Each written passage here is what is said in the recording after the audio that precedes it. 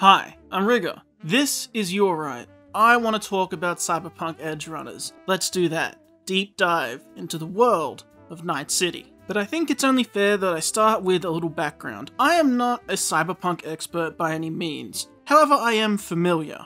I haven't played any of the video games, but I've been a fan of listening to some of the TTRPG games, I've played in one or two adjacent properties that aren't technically cyberpunk, and I used to be in a circle with some people who really love cyberpunk, so I have my footing at least. I don't know all the slang, but Hey, I ain't no man! if that makes sense. So, while this is technically in cooperation with CD Projekt Red and for the 2077 video game, I'm more approaching this as someone who knows the TTRPG a little bit. I actually had no real interest in the game when it came out. I'm actually not that much of a gamer. I do enjoy games, but I don't play a whole lot of them.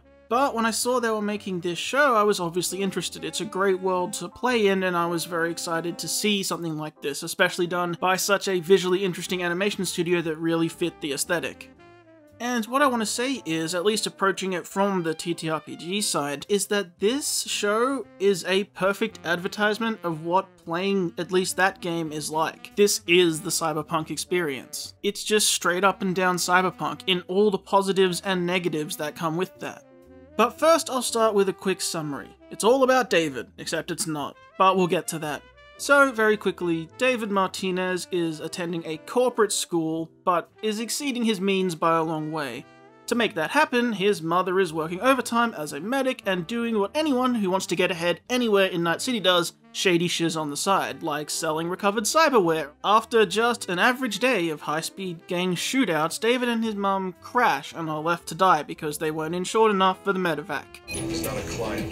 Neither is she. Hey, wait! You're the policyholder. Leave In heartbreaking fashion, David is then told his mother will survive, before the next day being told, whoops, she didn't, should have had more coverage. With literally nothing left, David ditches his school after beating up his bully, which he does by getting this random military grade cyberware he found with his mom's belongings installed because hey, f it, why not? After which, he meets a mysterious and alluring woman named Lucy, who is just jacking people's chips on the train. David will slowly work his way into the crew alongside her, fall for her very hard, who actually does the same, and very quickly things get out of hand because this is cyberpunk. It's honestly at this point I just recommend you go watch it because while I started out wanting to just review the show, I instead want to operate as if you've watched it because I want to discuss the show. So rather than hiding spoilers or you listening up to the episode you're on or listening to halfway to see if you'd like it, I'm just going to assume you've watched it because you really should. It's really worth your time. It's not that long and I want to talk about certain things that I can only do if we just discuss the whole thing in full. One thing I will say is I've been hearing around that if there's one thing that isn't the strongest here, it's the plot. And that is kind of true and kind of not.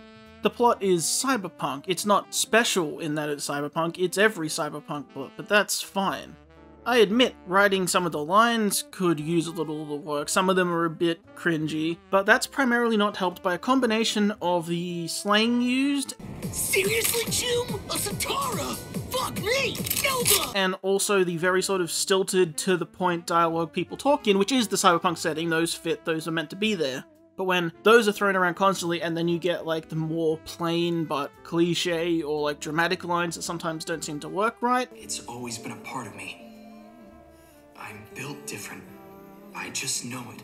those are the ones that sort of could have used some more work and stand out. They just don't seem to fit some of the others, but it's not a deal breaker by any means. I also did find that sometimes the simple style that people speak in, or I mean the very condensed style people speak in, sometimes didn't allow me to buy in as much to the relationships between the characters, at least initially. Like, between David and Lucy's relationship, I really like it, but to start with, in episode 4, when they finally come together and then they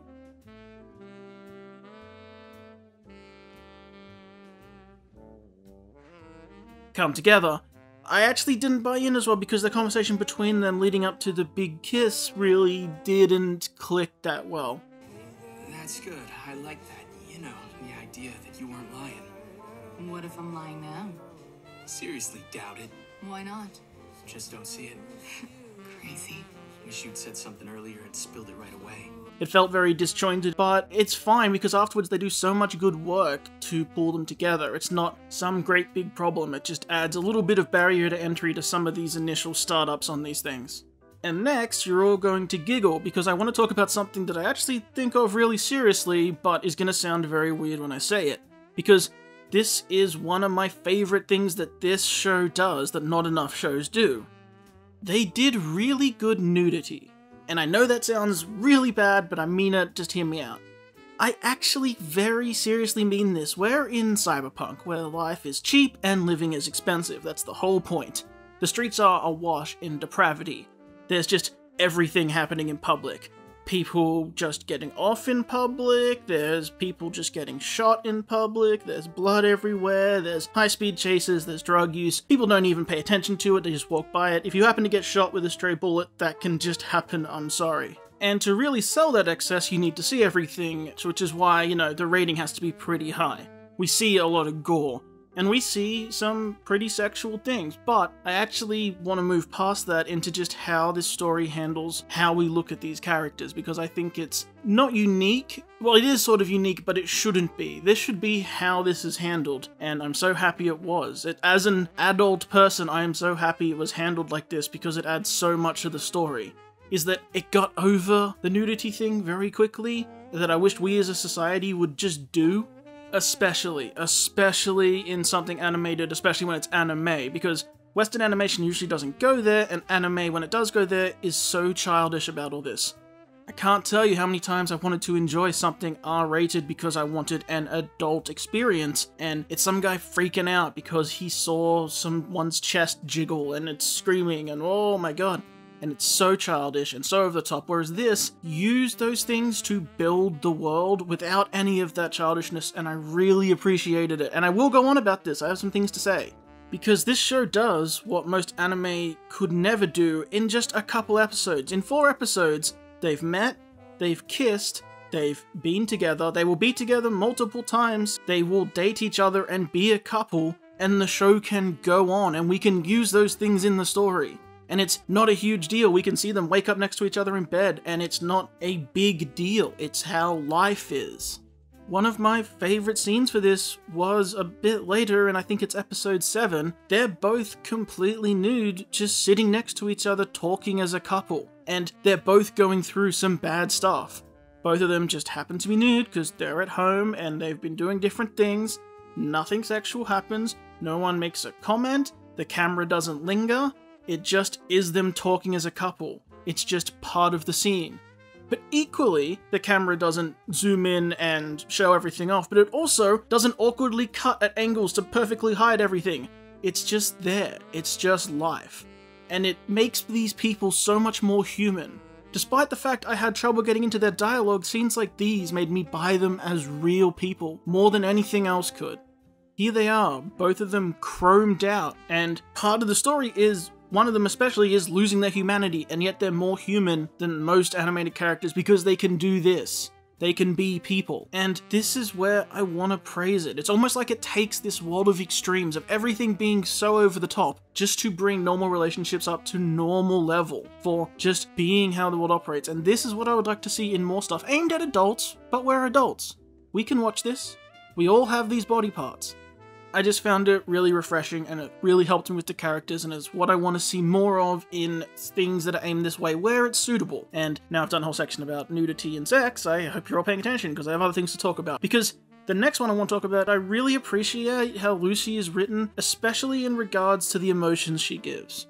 She could be the stereotype, super cool, mysterious hot girl who the main character chases, and she starts out as that. She's the alluring, strange one, a bit mysterious, and there's all this mystery about her. And she ends up being a bit quirky when we first meet her, and there's lots of characters like that. But where this one shines is when we get past that.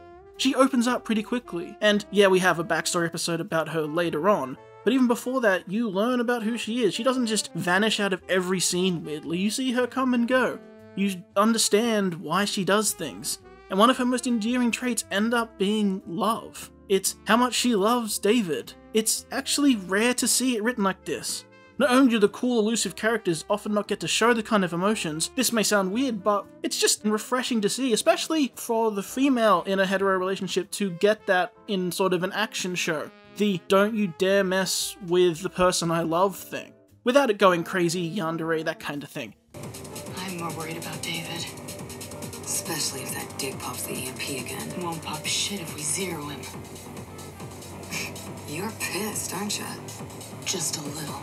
just being a person, letting all these people have these emotions. In a show that emphasizes the losing of humanity being so serious, we get some of the more human characters. All these chromed out people are so human in this field, this landscape of anime that really struggles sometimes to make these people feel real, like you should care. Seeing Lucy get motivated and aggressive when people put David in danger, and the lengths she goes to later on to protect David because she loves him, is fantastic to see. And you see the lengths that David goes through to get to her, but you also would commonly see that. See the male protagonist doing anything for the girl he loves, but to see it reciprocated that way, and to see this actual relationship, and to see how much they care about each other really gets you invested quite quickly over a short show. Getting back to the plot though, we do have this central issue that always surrounds cyberpunk stories, and that is cyberpsychosis. You need the chrome to survive, but eventually the chrome will get you. Edgerunners perfectly weaves this in as the bookmarks of its story. It's central to the plot and they use it in all the right places. It's immediately introduced, opening the show. First thing we see, a cyber psycho going nuts. How dangerous that is, and how serious that is. And then, right after the halfway point, in episode 6, we see it strike the team. This is not just something scary to experience, but now it's happening to your people. And then, right at the end, for the climax, it comes back and strikes our main characters. It's a perfect use of this key element to the cyberpunk experience and story. Seeing immediately how terrifying someone with cyberpsychosis can be because it automatically comes along with being chromed out sets up what can go wrong. Then, halfway through, we get the father figure of the team and the mentor figure for the main character be struck with it. And while it doesn't go as badly as it could have, you also get to see what it's like through their eyes, that disconnected feeling, the way time's jumping around and visions are happening and the way they're seeing the world, and it brings it all to light, just what's happening to their mind, and you get inside the mind of a cyber psycho, which you thought would be completely violent, but it isn't necessarily. It shows you what it's like, and all that builds to our climax of what someone is willing to do. It all becomes pretty haunting in its own way, and that's what I really want to talk about too is the tone. Initially, I was worried about how they would handle the tone for something aimed at a more general audience about this subject, because Cyberpunk is one of those games that you don't really win. Bit like Call of Cthulhu, if you actually win, you're sort of not playing it right, or the GM has weird ideas, or is being far too nice to you. In Cyberpunk, you should always feel stepped on, manipulated, and barely holding it together, and in the end, even if you win, you kinda lose. It's all about the ride along the way. Because every Cyberpunk game basically ends the same way. You might win a personal victory, but the corporations are still there, the world keeps going. Even if you take down the big bad, they were always just someone else's pawn under a bigger bad. And like I said, I was initially worried that might be lost, and those fears were brought about when David was special. Because that sort of thing in Cyberpunk is no one's really special, you're all just people and you have limitations. But of course, he's our main character, so he's a special. He's more resistant to cyberware, which in a cyberpunk setting is pretty much the best power you could have. And he, of course, gets to use that through the show, but you realize, really, he might be special, but he isn't invincible. And that really the more special one for the plot is not our main character, which is great. It's actually Lucy. So that's more fantastic to me, that thank god our protagonist isn't just the ultra special one, because that gets tiring. But, like I said, those fears were alleviated in episode 7. Because after we lose multiple teammates and we come back after a small time skip, suddenly David is not only more significantly chromed out, but he's running the crew and Lucy isn't with them, so there's real ramifications for what happened.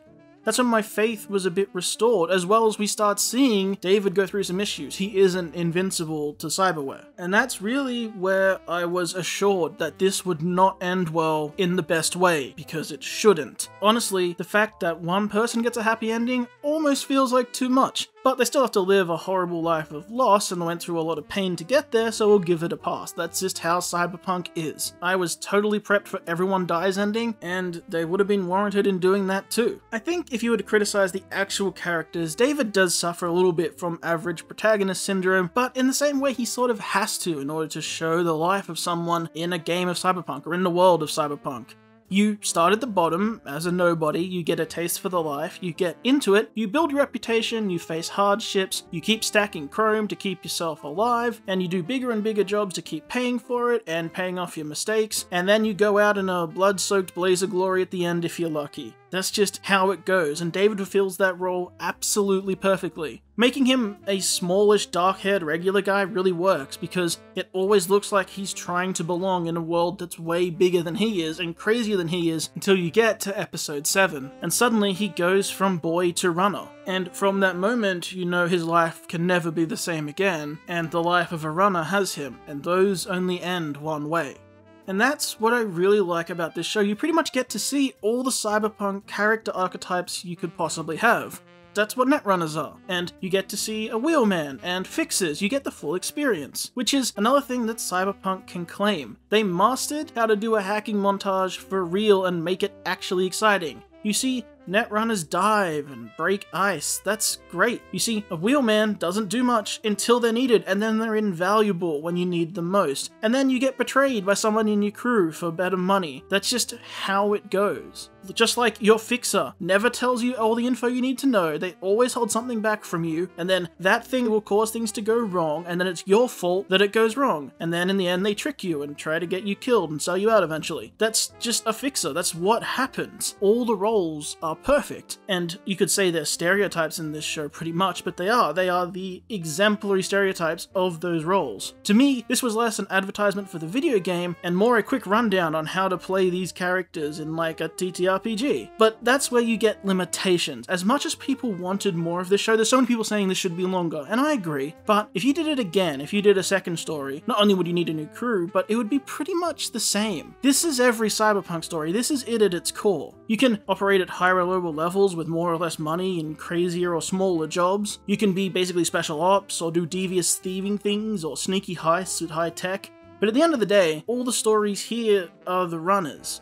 There are games that explore more of this. You can be running a store or something in the cyberpunk world, but to watch a show, you want to be with the runners, you want to be with the coolness, and they all go the same way. The specifics change, but this is cyberpunk. The world is deep and rich, but there's nothing else you want to be doing. In fact, I do have one pitch. I have seen one really cool variation of this played in a TTRPG where the team was actually part of basically MaxTac. They were a team of anti-cyber psycho squad. They play basically the anti-cyber psycho people who are right on the edge. They get chromed out like crazy and then their missions are take down crazier and crazier psychos. That could be interesting to watch and it basically would turn this into cyberpunk crossed with Psycho-Pass, I guess, which could be cool, but it's just the details. And maybe that's enough. Maybe I'm being pessimistic here. But you want to be focused on the cool runners and the runners might be cool, but they're always getting stepped on. They never totally win and in the end, never turns out well. It's just everything that happens along the way. And even if you got Series 2, I'm not sure how different it could be. Not only would you need a whole new crew, that is assuming we actually let Lucy have an ending and don't bring her back, because that kind of ruins it, the next show would just be new runners with new cyberware, which could be cool and a different objective, but it's gonna be the same. Perhaps that sounds like an odd criticism, but it comes with the setting, and I think that's why it works so well to play in this setting. It's one of the reasons it thrives so well as a game, because you can move your players to different settings, but they're all pretty much doing the same thing, just at different levels and in different objectives. But hey, there's a million revenge action movies, so maybe I'm just totally barking up the wrong tree here.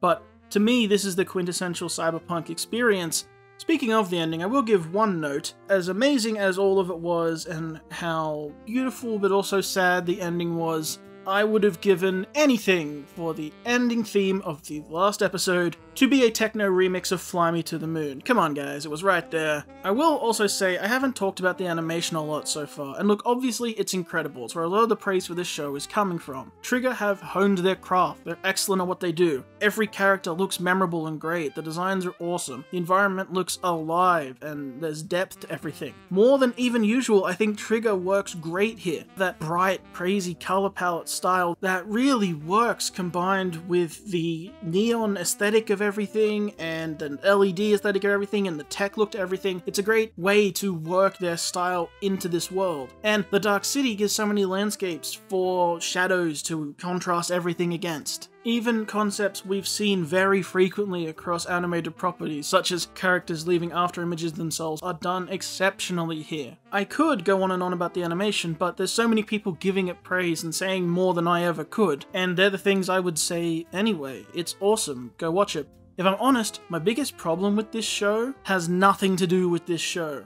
And excuse the rant, it has to do with how this incredible piece of work will just now be gone. A total flash in the pan when it deserves so much more.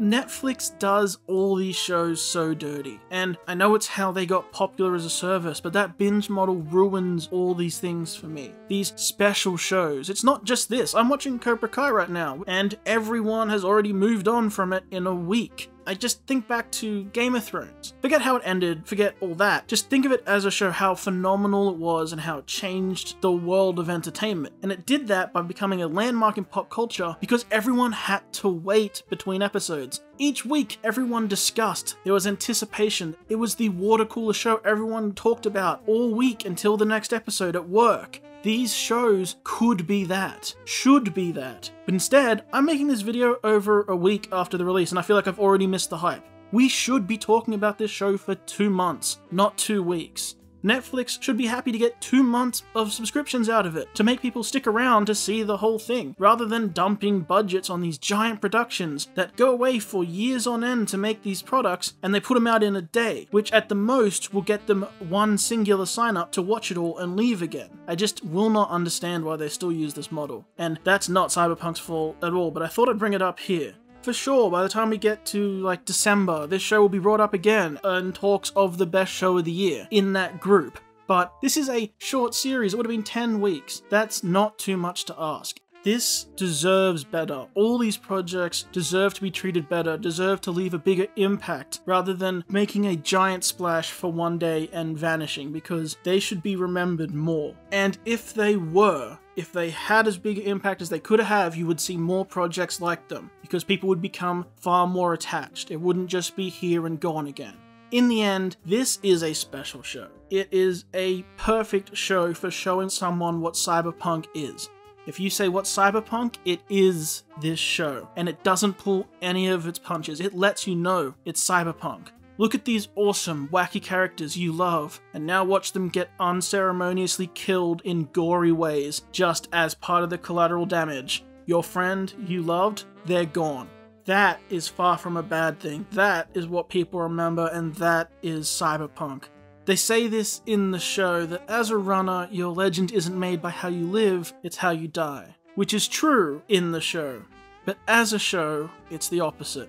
This show's well deserved praise is already dying too early, and despite not being the deepest or most unpredictable plot, and in fact is the opposite, it's a perfect example of a plot for Cyberpunk, almost the perfect generic plot for the Cyberpunk experience. It doesn't change the fact that that experience is exquisite. It's trippy, it's gory, it's confronting, it's shocking, it's cold, and yet at the center, there's love love between the characters, love for this world, love for this property, love for these ideas, and love for this style. The world is so harsh that you can't help but love these crazy characters and the people you spend your time with and your journey with, no matter how brief it is. You may always know how it's going to end, but unlike the runners, it is the journey for us. It's not the destination that we can predict, it's the ride that it takes us on that makes it a legend and just like a runner, it may have ended here far too soon.